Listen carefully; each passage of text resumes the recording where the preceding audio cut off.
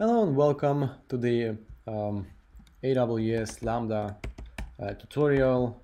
Uh, so how to deploy Quarkus on AWS Lambda and uh, if uh, if you want to you can do it uh, as a native as well. So all the previous uh, videos should work with a native native package. Firstly I want to say that I created a, a bucket called Lambda Quarkus.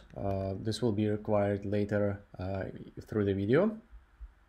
And yeah, so now uh, we can create a project uh, from the, uh, so I have here the archetype. It's similar to the Azure function, so you'll see that we have a Quarkus Amazon Lambda HTTP archetype. So it's something similar to what we had before. Uh, and this will again uh, execute the interactive mode, which we can create. So the group ID, this time let's create again Tehdo now. Uh, the artifact ID will be, let's name it Quarkus lambda. Without dash quarkus lambda. Uh, version will be normal package tag now and yes. So it's ready. Uh, we can open it up in a, in IntelliJ IDEA. Um, all right uh, so I open up the project and uh, uh, you will find a lot of similarities with what what happening with Azure we have almost the same stuff. We have Quarkus REST Easy, Undertow, Vert.x. Uh, so basically, you can choose whatever you like uh, and um, uh, use it. And we have a Quarkus Amazon Lambda HTTP. So this is like we had Azure. In this case, we have a Lambda. So this is the, the specification how to deploy our function. Uh, so there is one difference though that we have um, uh, we have a two files. So we have a JVM which we were going to use today, and we'll have a native one. So this uh, you can try it yourself. So you just need to specify minus p native when you will build the image. And so firstly, of course, let's call the, let's go to this folder. Uh, uh, how lambda, Quarkus lambda, okay. And don't have the Maven NV. Uh, so in this case, we're gonna use Maven uh, clean install. Um, this will prepare our build. And let's wait before it finishes. Okay, you will see that it's installed the uh, into local Maven. We have a target. Um, so yes, you will see that our our project was deployed or installed, uh, and now uh, we will need to execute few commands. So firstly, uh, we can of course uh, use the local environment like this, uh, sam um, local start API uh, minus minus template. Uh, so uh, SAM is a serverless, I think Amazon something. so it's this AWS tool. And uh, so this is this sounds like you know something related to permissions but it's not so. Don't uh, think. You'll need to install it of course. Uh, i'll send you links into in the descriptions so uh, basically you'll need to tap the AWS uh, uh, tab and then call the brew install um, SamCli API or something like this.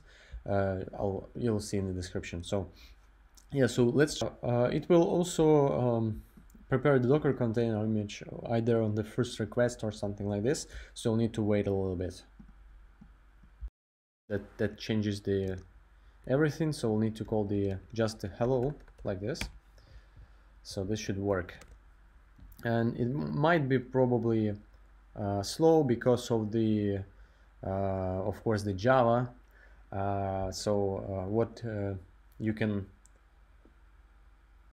okay so now let's try to deploy our Quarkus uh, Lambda or AWS Lambda to the native. I have here a few commands that we can use yeah. So as you can see it's loading it's uploading everything uh, that I built uh, and uh, yeah so it's now ready. Now what we can we should do the second part is the we need to uh, deploy it uh, as as you can see it's already suggesting me to do the package it and then stack name. Um, so be sure to use a unique name uh, for your deployment. So in my case, it was Quarkus AWS Lambda with the some of the shortcuts, and you'll see that you have the uh, output. So you have this uh, URL that you can use in order to um, to make it working. So be sure to have some of the permissions. Uh, they'll be probably specified in the description of the video. So one of which should be Amazon API Gateway uh, and am full access, not the full access, but some of the them. And of course the AWS Lambda, you'll need to have an access to use it. Uh, taking that in, into mind, that we can try to use this URL. So I'll open up and you'll see that we, we have a missing token uh, authentication token.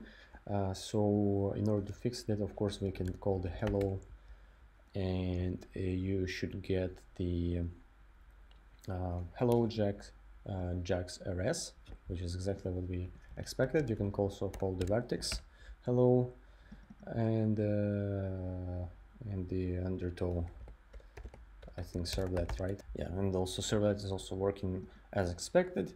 So yeah, this is an example of the lambdas. Um, I hope this will help you and I really suggest you to use the native one, native development if you have a time.